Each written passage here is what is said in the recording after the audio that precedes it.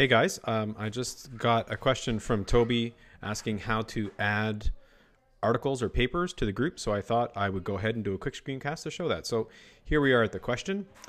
In order to do that, we go to My Library, go to My Library, and we look through the articles that are here. And here's one, uh, Communications, a Rhizomatic Tale of Participation Technology, Post-Coloniality, and Professional Community.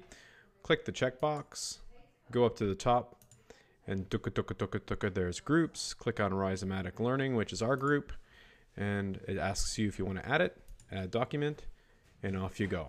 It should be added to the group. We'll go back to the group click on rhizomatic learning